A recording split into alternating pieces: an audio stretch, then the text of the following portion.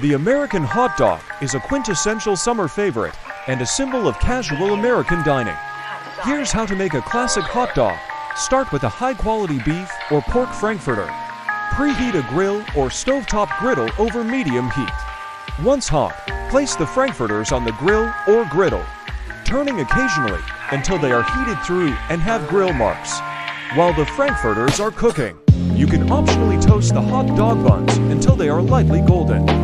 Once done, place a frankfurter in each bun.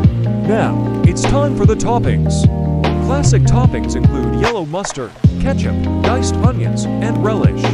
For a Chicago style variation, add yellow mustard, green relish, fresh tomato slices, pickled sport peppers, dill pickles, and a dash of celery salt. Another popular variation is the chili dog, topped with chili, cheese, and onions. Serve with a side of potato chips or fries. Enjoy the timeless taste of an American hot dog.